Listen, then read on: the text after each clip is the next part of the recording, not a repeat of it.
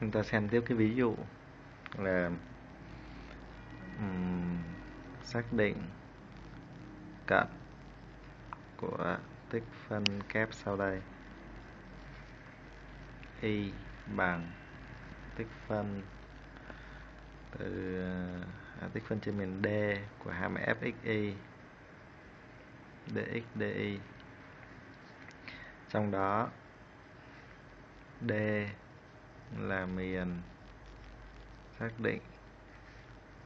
Bởi các bất đẳng thức là x bình cộng y bình nhỏ hơn bằng 2x và x cộng y lớn hơn bằng 2.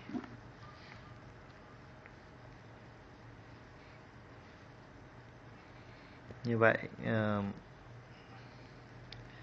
trước khi chúng ta làm á, cái bài này thì đầu tiên hết chúng ta phải coi xem cái đường này là đường gì.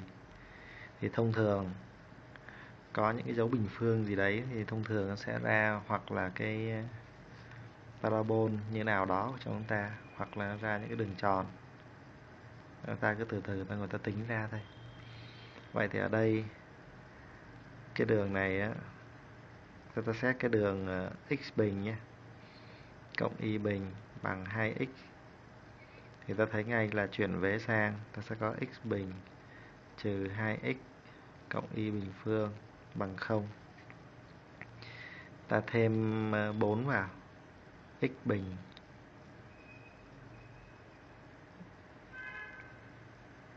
Ừ, thêm 1 chứ, thêm 1 bớt 1 rồi có bước x bình trừ 2x cộng 1 cộng y bình phương bằng 1 cộng 1 và 2 vế nhé thì thằng này nó sẽ trở thành là x trừ 1 tất cả bình phương cộng y bình phương bằng 1 cái thằng này nó chính là phương trình đường tròn. Cái dấu đẳng thức này, nhỏ hơn nhỏ hơn nhỏ hơn nhỏ hơn chỗ này vẫn là nhỏ hơn, hoặc bằng. Có nghĩa là nằm bên trong của cái đường tròn này. Tâm là một không, bán kính là một. Như vậy sau khi xác định như thế rồi thì chúng ta sẽ vẽ được cái miền D. Miền D của chúng ta.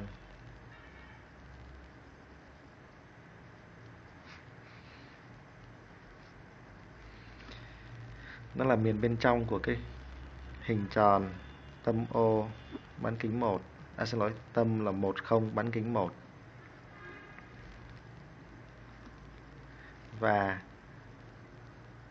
nằm phía trên của cái đường thẳng x cộng y lớn bằng 2 tức là ta vẽ đường x cộng y bằng 2 nó chính là đường thẳng đi qua điểm 20 và điểm 11 x cộng y muốn lớn bằng 2 thì chúng ta thay thử cái điểm 0 vào nha ta thấy x bằng 0, y bằng 0 cộng lại bằng 0 thì không thể lớn bằng 2 được để chứng tỏ là cái miền có chứa điểm không này là không không đúng. Như vậy thì cái miền mà xác định bằng bất đẳng thức này chính là miền bên trên. Vậy có nghĩa là nó nằm, miền D là miền trong hình tròn và nằm trên đường thẳng. Đó chính là cái miền nhỏ xíu này. Đó là miền miền D. Và như vậy thì sau khi xác định được đến đây rồi, ta thấy ngay là cái miền D của chúng ta giả sử như chúng ta nhìn theo thứ tự ừ, tùy chúng ta, và đây thứ tự là y trước x sau. Như vậy thì x phải nằm trong khoảng từ 1 cho đến 2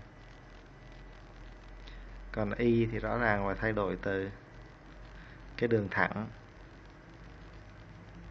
đường thẳng này cho đến đường tròn. Như vậy thì y sẽ phải thay đổi từ đường thẳng, tức là y bằng 2 trừ x cho đến đường tròn, tức là đường tròn của chúng ta,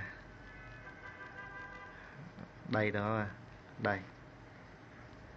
Ta phải tính x tính y theo x, vậy thì y sẽ bằng cộng trừ căn của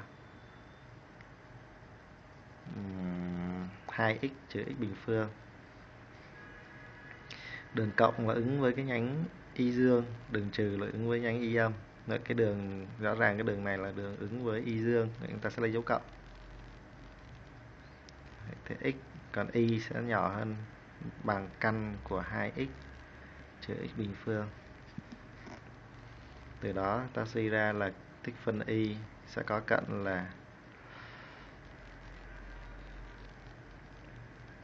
x thay đổi từ 1 đến 2 dx còn y thay đổi từ căn của 2x trừ x bình phương cho đến Ồ tôi viết nhầm rồi cận dưới này nhé 2 trừ x cho đến căn của 2x trừ x bình phương. Hàm f, tích phân theo biến y. Và như vậy là chúng ta tính xong